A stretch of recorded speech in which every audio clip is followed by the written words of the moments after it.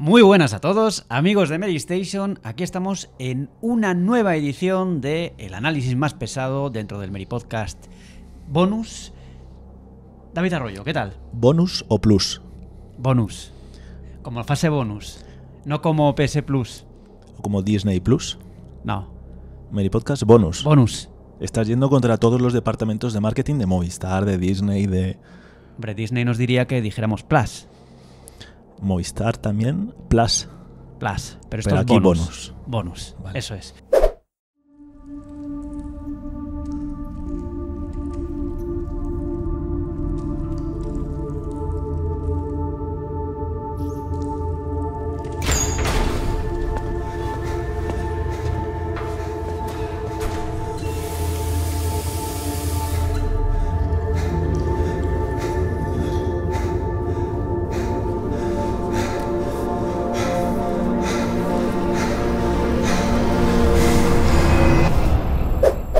Silent Hill 2 Remake, que está claro, tú lo has puesto un sobresaliente en Mary Station. Y yo te voy a hacer la pregunta que, que tengo que hacerte. ¿Siempre confiaste en Bluebird? No, pero ni yo ni nadie. ¿eh? Que ahora hay mucha gente que se cuelga la medallita diciendo. Además que ya no es que hay gente que ni siquiera dice que era falta de confianza, hay gente que dice que es que simplemente el producto al principio era malísimo y que gracias a sus críticas en redes y el hate vertido, eh, Blover ha hecho caso a fulanito74 con el icono del huevito en Twitter y ha cambiado el juego para bien, que son los usuarios los que han salvado el juego. Entonces, no, yo no confiaba porque había motivos para Para desconfiar. Sí, sí. Y eso que yo no soy. A, mí los La- Layers of Fear, por ejemplo, me gustan bastante. ¿eh? No soy. Es verdad que hay mucho meme, como por ejemplo la escena del bebé que se choca y se da en la cabeza. Pero por ejemplo, tengo la experiencia de la bruja de Blair todavía grabada a fuego en la memoria y no para bien. Yo creo que el juego me pareció. Aquel juego, por ejemplo, me pareció aterrador, pero por lo mal que iba a nivel técnico y por las mecánicas más infames que recuerdo en mucho tiempo. Entonces había motivos para tener miedo. ¿No lo jugaste en VR? Yo sí. ¿La bruja de Blair? En Oculus. En Oculus. Sí, Te- sí, sí, sí. Pues, pues te compadezco, ¿eh? Se veía un poco chungo, pero claro, era Oculus Quest 2, eh, funcionando en el hardware de Oculus Quest 2. No me lo quiero ni imaginar. Y de Medium está también de Medium, que bueno, que mm, se, nos vendió como la tecnología esta que separaba en dos realidades y tal, y luego al final fue un poco bluff. Entonces, a ver, eh, De hecho, yo lo comentaba en la opinión que he publicado en Mary Station también, que, a ver, los antecedentes mm, nos decían que, bueno, que Bluebird no había hecho ese gran juego que mereciera mm, el remake de Silent Hill, ¿no? No, porque de hecho Bluebird estaba llamada a ser la heredera de Silent Hill, pero no. No, esto no lo decíamos con la idea de que heredase la saga y de que se pusiera allá al frente, sino porque de Medium se vendió así, como un nuevo tipo de Silent Hill, un Silent Hill para los tiempos modernos, un discípulo ¿no? de, de aquel de las, del Team Silent. Y al final fracasó. Y entonces le dan Silent Hill y es como leñe. Si ha fracasado intentando emular esto, ¿por qué ahora iba por arte de magia a hacerlo bien? Bueno, el estudio se ha ampliado bastante, tiene muchos más trabajadores, tienen también bastante talento de los, de los Silent Hill originales, incluido el diseñador de, de criaturas, incluido Akira Yamaoka, y bueno, pues han demostrado que nos han callado la boca, que hemos utilizado este titulario muchas veces, Sí. pero es así, o sea, nos han callado la boca. Se le han callado al propio Ito, que en su momento dijo, eh, no compréis esto, no volváis a jugar esto, y ahora dice que está encantadísimo, que vuelve a sentir la emoción de hace 20 años. O sea, se le ha callado a todo el mundo. Que Sí, sí, nadie... Incluidos los propios desarrolladores sí, originales. sí, sí. Es verdad lo que tú dices de que el estudio se amplió, de que el estudio ha crecido mucho y tiene experiencia. Y ah, yo me acuerdo también del remake de Layers of Fear, que pasó un poco desapercibido porque nadie piensa que Layers of Fear necesitase un remake. Iba mal técnicamente, pero era un juego muy reciente. Hmm. Pero era un remake muy particular que juntaba a los dos, añadía una historia medio que los eh, unía a nivel narrativo. Y, en aquel ya se veía que, oye, que Bluebird sabía dar un lavado de cara, sabía cambiar mecánicas en las que había flaqueado. En aquel se podía empezar a sospechar que había un 1% de posibilidades, ¿no? Había un universo, que diría el Doctor Strange, en el que Bluebird podía hacer bien ese remake. Y por suerte estamos viviendo en él, o sea, súper contentos. Bueno, David, ¿cómo le ha sentado la tecnología actual a la hora de construir la, atmósfera del juego? Pues estupendamente, la verdad, la gente se está entregando, los desarrolladores, estamos volviendo a los tiempos en los que se usaba el Unreal Engine para todo. Que tú metías el juego que metieras en tu consola, te salía el logo del Unreal Engine 3 y, el 4 hubo más problemas y la gente se creó sus propios motores, pero estamos ya empezando a ver que otra vez todos apuestan por Unreal Engine 5 y este es uno de esos juegos en los que, aunque tiene cosas mejorables, como por ejemplo las animaciones de James o problemitas a lo mejor con las sombras, con popping, con ciertos reflejos. La carga de texturas mm, marca de Unreal Engine, que sí, sigue ahí. Sí, pero aún así, mm, yo no he sido en el análisis tan atrevido como he visto en redes esta semana, en, en, la que ya hay gente que dice, se siente de nueva generación, se siente de nueva generación. Pero es verdad que es un título que se ve muy bien, que es que se ve muy bien. He, por ejemplo, claro, yo es que cuando lo probé por primera vez, por ejemplo, lo probé junto al remake de Metal Gear 3, que creo que se ve aún mejor, que creo que es mucho más puntero gráficamente. Pero eso no quita para que sea verdad que Silent Hill 2 se ve muy bien, se ve muy bien. Y lo que le pides a un remake es pues que el lavado de cara sea en condiciones. Que a veces nos hemos comido remakes que, que bueno. Hmm. Y ni siquiera pienso en ejemplos recientes, ¿eh? se me ocurren también cosas del pasado que dices, qué pereza, ¿no? Volver a jugar a esto supuestamente con la tecnología actual y que no esté a la altura del rendimiento. ¿Qué papel tiene la niebla en esta versión de Silent Hill? ¿Tiene el mismo papel? No, evidentemente no, porque en su día era un truquito de magia del Team Silent para, para evitar pues que se viera que el juego tenía unas carencias importantes. Era para mm, ocultar, pero ocultar eh, los gráficos, era para ocultar el diseño, era para ocultar ese tipo de cosas. Aquí... Todavía no estaba el viejo de Silent Hill. No, claro. No, no, no, no tenían... También pegó un salto ahí el Team Silent, pasó de lo peor a lo mejor. No, tampoco era tan... A ver, Silent Hill 2 no pintaba mal en su momento, ¿no? Yo no lo recuerdo mal. Yo no malo, pero ya pero no lo recuerdo puntero. Hmm. No lo recuerdo puntero. Y es verdad que la niebla estaba para lo que estaba. La niebla estaba para ayudar a, que el juego no, no explotara, no se cayera por todos lados. En el uno ya ni digamos. sí. Y entonces en este ya es otro recurso. Ahora ya es para. Que también en el fondo se usaba en el original, claro, pero como que en el original partió con una cosa y se acabó usando para otra, y aquí es simplemente ya pues pura ambientación, pura narrativa, pura sugestión. Y no ver es de lo que más nervioso te puede poner en un videojuego. Y hay muchos juegos de terror, precisamente, lo que hacen es apagarte las luces, darte una linterna que se agota, eh, someterte a eso. Y lo que tiene Silent Hill es que te quita del sentido de la vista sin quitarte luz. Que eso es maravilloso. Es original, es genuino, es propio. Y, es, pues como digo, un recurso maravilloso. Escuchaba al director de Silent Hill 2 original eh, aplaudiendo este nuevo remake, pero sobre todo hablando de una de las grandes limitaciones que tenía el primer juego, que era la cámara. ¿Cómo lo han solventado en este juego? Una cámara en tercera persona al uso, parece incluso más propia de los Resident Evil, de los remakes de Capcom.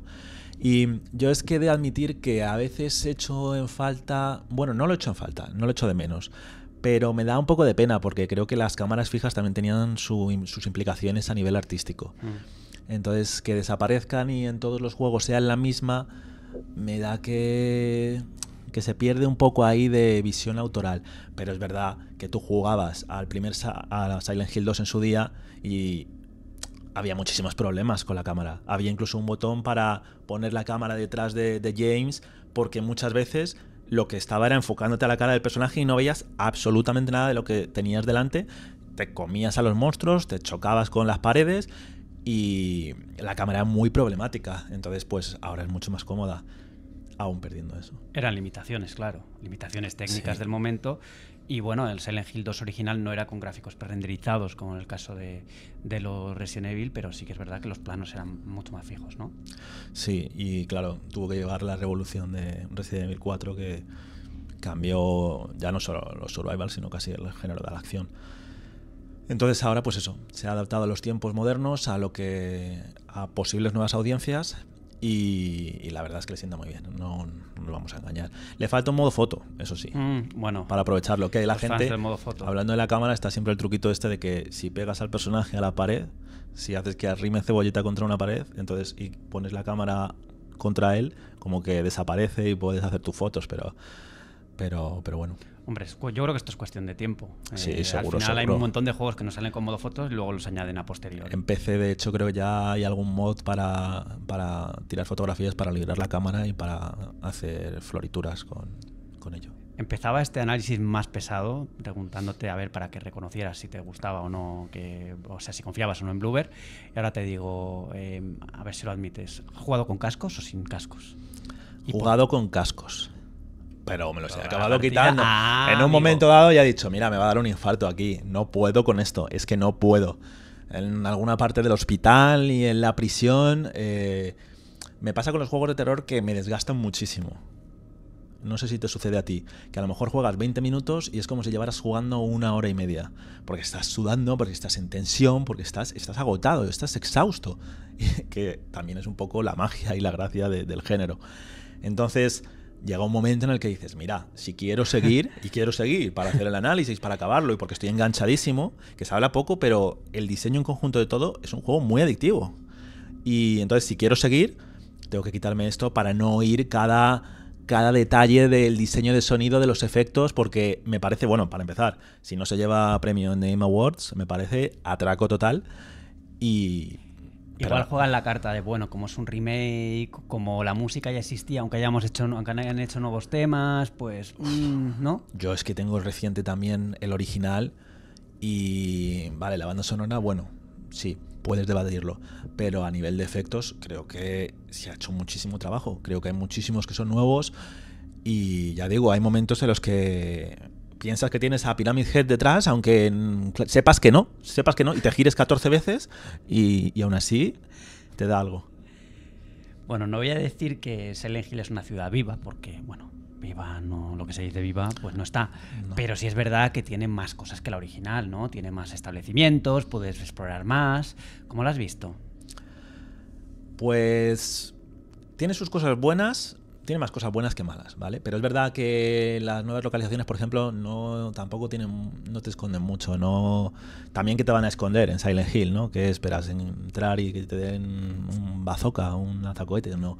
Pero es verdad que hay muchas que entras y hay una jeringuilla y poco más, o eh, hay un poco de munición. Pero da gusto poder entrar. Es algo que, que da gusto, que en el original muchas veces te quedabas con ganas de poder explorar un poquito más del pueblo a tus anchas. Y de hecho, en Devil Within 2, creo que es, hay como una parte que es un pueblo medio mundo abierto que aquello tenía muchas vibes de, Silent Hill y que daba gusto porque podías entrar en todos los sitios y, y explorarlo a fondo. Entonces, a mí personalmente me, me gusta poder explorar, aunque creo que hay gente que piensa, Buah, esto se va a cargar el ritmo, Buah, te vas a pasar todo el juego simplemente dando vueltas por un pueblo en el que no hay nada, pero pensando en mi experiencia, la exploración se ha limitado casi al principio. Eh, a poco antes de llegar a los apartamentos, a la parte entre los apartamentos y el hospital. A partir de ahí, ya cuando ibas por el pueblo, lo que ibas era cagando leches porque el pueblo estaba lleno de criaturas, era de noche, daba miedo y entonces, venga, exploración, la Al menos justa. te avisa la radio, ¿no? De que están por ahí Sí. y los ves más o menos entre la niebla, agazapados. Sí. Pero luego hay unos que van como por debajo, o sea, que van como Sí, eh, que tumbados, debajo que de van los corriendo y coches. dices, ¿dónde están? ¿Dónde están? Y bueno, los puedes machacar con, con la, bueno, con, ¿cómo se llama? La vara esta, el- el- la tubería, La pam, tubería pam, pam, y el palo de y lo madera, dejas ahí seco. Sí. Ah, hay un detalle muy curioso y muy interesante que es cuando, un- cuando el bicho está herido y se escapa, deja un rastro de sangre que puedes seguir. Sí. Eh, en el fondo, muchas veces cuando hablamos de la inteligencia artificial de los enemigos, eh, no sé, a mí se me viene a la cabeza, por ejemplo, la de, las Us 2, ¿no? Que ellos se ponen a dialogar. Tú matas a un NPC y ellos se ponen, Dios mío, han matado a Christian, ¿qué vamos a hacer? Eh, ah, ¿Cómo han podido hacernos esto? Pobre Christian. Y se ponen como, como si fuera el protagonista del juego que hubiera muerto. Y es muy divertido y está genial. Y también, pues estudian dónde ha sido el último punto en el que te han visto, te intentan flanquear. Y hay inteligencias artificiales mucho más desarrolladas que la de Silent Hill 2, por ejemplo. Pero la de Silent Hill 2 es que lo que hace es lo que hay que hacer. Es, por ejemplo, ir, los enemigos simplemente ir a esconderse, ir a asustarte con un par de, de cositas, sin darle tantas vueltas y no, es que tienen que ser súper inteligentes, súper realistas. No, no. Que el enemigo haga eso, como tú dices, que el enemigo se intente ir a un sitio para intentar sorprenderme y le funciona de maravilla. De maravilla. Es simple pero súper efectivo. ¿Has notado parte de la estética de las películas en el juego? Porque a mí sí que me ha dado la impresión de, que había cositas que me recordaban un poco a la estética de la pelis, que añadieron también sus cosas nuevas, que luego se repescaron además en los juegos posteriores. Sí, yo creo que el óxido viene más de las pelis que de los Silent Hill originales. Y, cuando entras en el otro lado, el otro mundo, ¿no? Yo creo que ahí sí que hereda de las películas. Y también hereda de Blover. Hereda cositas de Blover, eh, tema polillas, tema mirar por por la mirilla de algún sitio, hereda también cositas de, ellos, sí, sí, sí. Bueno, es obvio que James, el protagonista, es un personaje atormentado. Em, ¿Se han añadido cambios con respecto a la historia original? ¿O es exactamente la misma? Hay cositas, hay cositas. Eh, creo que Blover ha hecho bien intentando añadir lo mínimo posible a la historia. Entonces, cuando tú dices el juego dura el doble que el original, es sobre todo a nivel jugable porque las mazmorras se han ampliado, el camino de una a otra es muy diferente, pero a nivel de historia tiene nuevos diálogos, tiene incluso nuevas cinemáticas, pero los puntos clave se han mantenido y a veces tal cual estaban escritas en el original. Yo he notado pocos cambios y de hecho hay veces que precisamente por, esa, por conservar y por ser respetuosos y tal, hay veces que incluso alguna dices, uy, esta queda un poco así Mm, raruna. Hay alguna que incluso es nueva, que cuadra mejor que, las viejas. Y, pero no, no, a nivel, en ese aspecto, a nivel narrativo, se ha mantenido casi intachada, o sea, sin, sin tocar la, la, historia original. Intachable, intachable. Intachable. Pero bueno, a nivel jugable, como has adelantado, sí que hay bastantes cambios a nivel de puzzles, de incluso algunos puzzles que ya estaban en el original eh, son diferentes en el nuevo, eh, hay objetos que no están en el mismo lugar. Cuéntanos un poquito todo eso, cómo han armado la jugabilidad y cómo han hecho que esa nueva jugabilidad eh, siga siendo fiel al juego original, porque eso sigue siendo, o sea, tú juegas este juego y dices, esto sigue siendo Silent Hill 2. Sí, pues sobre todo manteniendo el equilibrio. Es verdad que hay más acción, eso es evidente. Eh, de hecho, cuando acabas el juego aparece un marcador de cuántos enemigos has matado y el número es altísimo. El número... Más, conmigo que yo, que no puedo dejar una sala con alguien vivo porque es que luego vas a volver y va a estar. Sí, hay que matarlo. Sí, porque además sabiendo que no hay respawn, si hubiera respawn decías, bueno, venga, pues no, no hago nada, pero, pero sabiendo que no está, exterminas todo lo que hay en la ciudad. Y entonces la acción ha aumentado, la acción ha aumentado, pero eh, también los pools, como tú dices. Por ejemplo, el pool de monedas del bloque de viviendas, que se nos viene a todos a la cabeza. Pues en su día era encontrar tres moneditas, colocarlas en un sitio en el orden adecuado y, y ya está.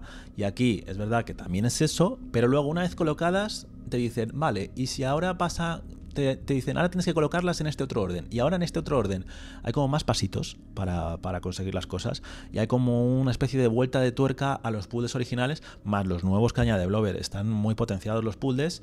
Y como hemos dicho antes, también el hecho de, ampliar la exploración hace que todas las novedades jugables no sean solo combate, combate, combate, combate, que es también lo, lo que más ha mejorado, evidentemente. Está muy bien el combate, ¿eh? está bastante bien. Es que el primero, eh, o sea, el primero no, el del original era, sí, era duro, era duro, era coger un palo y machacar un botón.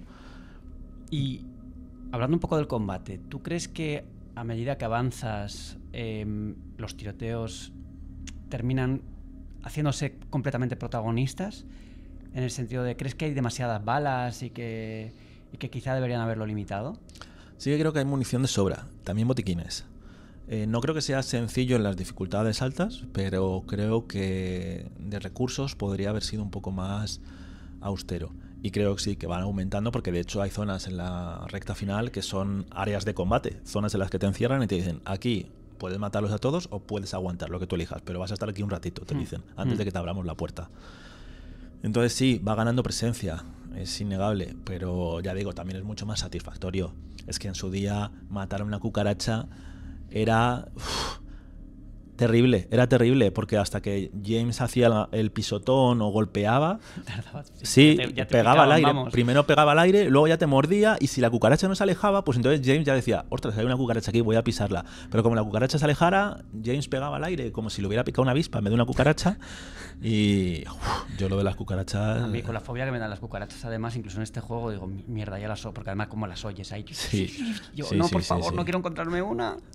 Además, en este juego tienes también las secciones estas en las que hay como no cucarachas enemigos, sino bichos en las paredes y tal, que huyen de la luz y es... Sí, las polillas que suenan ahí. Sí, sí, sí, sí. Que eso, hay gente también, ¿no? hay gente que tiene fobia a las cucarachas, pero también hay gente que tiene fobia a las polillas. Yo odio más a las polillas que a las cucarachas. Que por, por ejemplo, en Resident Evil 2, en el remake, eliminaron el jefe final, que era una Sí, polilla, y sí.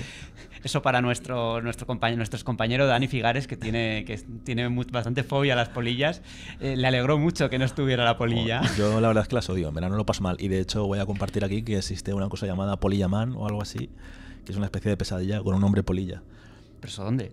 Pues no sé, es como cultura de internet. Ah, no está en Silent Hill, ¿no? Ah, no, solo No, faltaría, no. solo faltaría. Entonces no hubiera hecho el análisis, claro. ah, tú también tienes eh, fobia a las polillas. No es tanto fobia, pero sí un asco indecible. En tu análisis hablas también muy bien de, de los jefes finales, que son las cosas que más se ha reforzado en este, en este remake. ¿Por qué? Pues por lo que decimos un poco antes, que es que en su día eran malísimos. Te encerraban en una pared, en una. En lo que te alquilan ahora en Madrid, en un zulo de dos metros, te encerraban con el bicho y es que no podías evitar, era palo, palo, palo, palo, palo, no podías hacer nada más. Bueno, palo, disparos si tenías balas en su momento. Y aquí no, aquí los escenarios son más amplios e incluso tienen más, también por lo que decíamos con los puzzles, más pasos.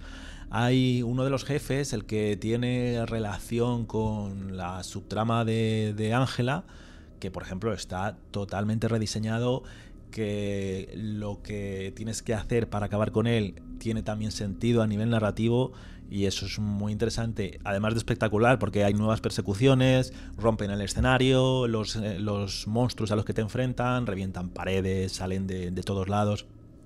Entonces, ni punto de comparación.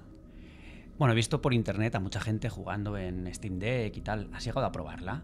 ¿A probar el juego? No, O, pero tú lo tienes en PlayStation 5. Sí, ¿no? lo ha hecho nuestro compañero Vladimir, que y ha dedicado una pieza sobre cómo funcionan las distintas portátiles.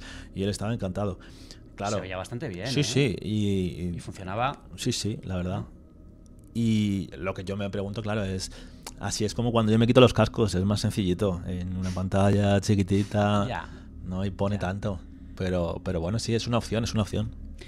Si tuvieras que decir algo que, que hubieras mejorado en este, en este remake, ¿qué hubieras hecho? Quizá, eh, bueno, a nivel técnico, los problemas evidentes. Hubiera mejorado a lo mejor las animaciones de James, eh, los problemas, ya digo, con las sombras, con ciertos reflejos, con el popping. Y luego se me ocurre poco. Si es que yo... A ver, evidentemente lo que haría sería meter la expansión que no ha venido. Ah, la la de expansión, sí. Nacida de un deseo. Que yo todo, no sé qué ha quedado eso, de que la banda sonora estaba un tema. ¿Eso lo hemos, lo hemos investigado? ¿Sabemos Está- algo? Hay una banda sonora que te venden con la edición deluxe en la que vienen un montón de temas eh, reorquestados y O sea, remasterizados, sí. Y entonces viene, claro, un- eh, el de Nacida de un Deseo.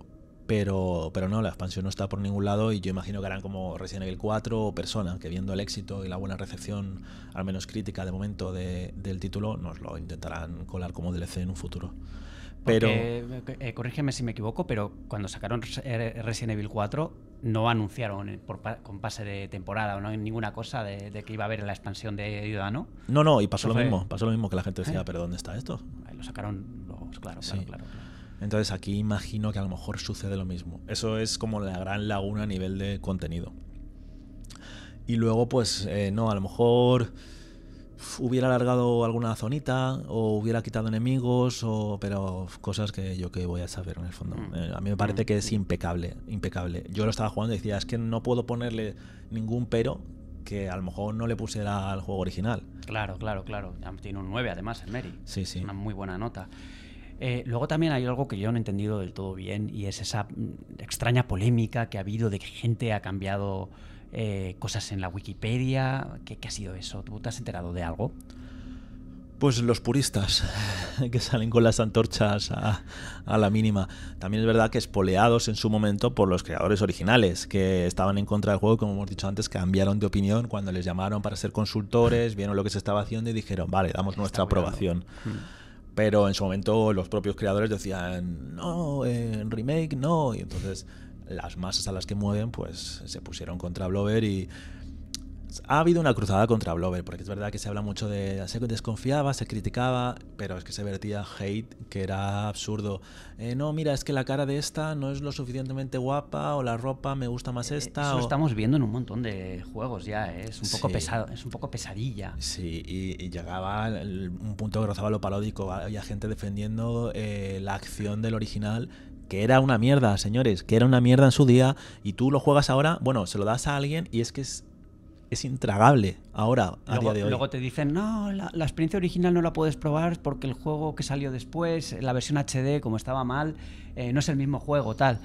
Pero bueno, mm, o sea, el juego salió en físico y Sí. el que quiera jugarlo, pues tendrá opciones de hacerlo, ¿no? Yo creo, o sea, estar en segunda mano estará por algún lado. Sí, pero en fin, ¿qué es eso? Eh, gente que se queda con todo lo pasado fue mejor. Antes todo esto era campo. Ya, quizá lo que podían haber hecho es lanzarlo como extra dentro de Silent Hill 2 Remake, ¿no? Es a veces que lo hacen, ¿no? Que te ponen el juego clásico. Lo que pasa es que el problema de este juego es que eh, creo que mm, la remasterización salió mal porque parte del código estaba perdida. como Claro, solía pasar sí. con los juegos antiguos. Sí. Entonces tampoco había mucho margen de maniobra. Bueno, David. ¿Es Silent Hill 2 Remake o está Silent Hill 2 Remake a la altura de Resident Evil 2 Remake? ¿Lo pondrías en la misma... en el al mismo nivel? Yo lo pondría al mismo nivel, la verdad. Y creo que. Sí, sí, y me quedo tan a gusto. la- No me salta esa apreciación o esa afirmación, no me parece polémica. Eh, Resident Evil 2 Remake me parece mejor, pero porque en su día Resident Evil 2 me parecía mejor que Silent Hill 2. Mm. Aunque son distintos, yo, claro, me- son gustos.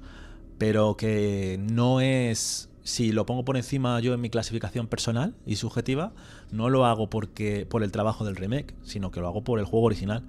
Entonces, me parece que no se le podía pedir más y al otro prácticamente tampoco se le podía pedir mucho más.